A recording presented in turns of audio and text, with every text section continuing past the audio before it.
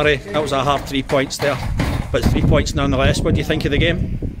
No, the, the win sort of spoiled it for both teams, but we, uh, I kind of think the second half we controlled the game and never really looked like getting beat actually. Think the, the, the, two goals came quite quickly, one after each other, which uh, I think suited us, helped us uh, settle. Yeah, it definitely did. But you, you always need the third goal. It obviously never came, but you, you certainly it puts you, well, it gives you some kind of breathing space as such. So. Yeah, it's, it's usually a killer way to, to, to lose a, a commanding uh, foothold in the game and let the opposition in. But we, we, we managed to hold out, uh, so, so fair play to the boys. Who would, who would your man of the match be? Oh, uh, I'd need to go with Big Ryan because he was always steady and it was difficult conditions and he, he yeah. played he played really well. Another two another two great saves. Yes, he definitely did. Yeah. Murray, thanks very much. No problem, thank you. Andy, first came back uh, in a while since your injury. Uh, how did you get on? How did you how did you get feel with the match, Ben? Aye, it was good to get back out playing there. Uh, back enjoying my football. Um, aye, the match went well. Maybe uh, not so great at the start, gave away the penalty. Thought it was quite soft, right enough. But yeah. aye, I put for that. I thought uh, we handled the weather conditions very well and played as a team. And yeah. I dug in, got the result in the end. Yeah, there was always a fear that the, the wind might spoil the game, but I thought we coped with it quite well. Definitely, I mean the wind was in our face first half to, to keep it to one 0 in the first half and even create a few chances of ourselves. So in the second half, we always knew we could uh, we could get the win. Yeah, typical Kello fashion. At times we looked quite nervous when uh, the, the finishing um, line was in sight.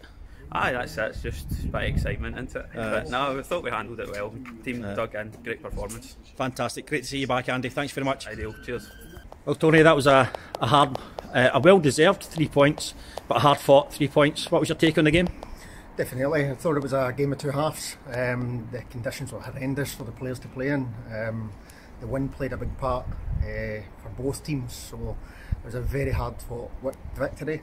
Um, I thought the boys deserved it over the 90 minutes. Andy Struthers stepped in uh, after being away for, for, for with injury for a, a, a quite a time. Um, how do you think he did?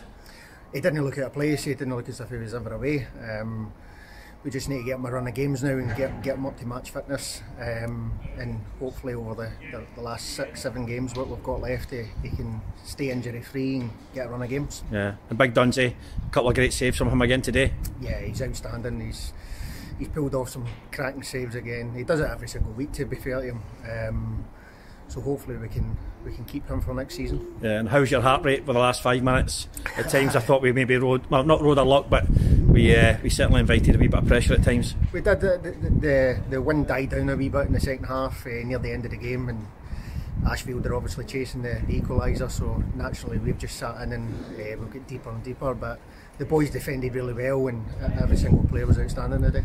Yeah, three points away from home this week dropped two points at home last week. Must be a wee um, source of frustration for you.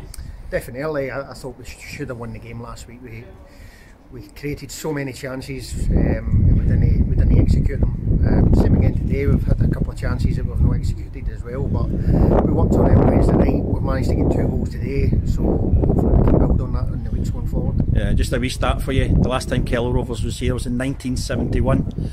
Um, and I think someone had said they, they, went on a nine, they were on a nine-month uh, winning streak. Uh, so back up to, to Ashfield and we get three points. Yeah. Hopefully we can go unbeaten for nine months. I'll be very happy with that. Uh, definitely. Tony, thanks very much. Cheers.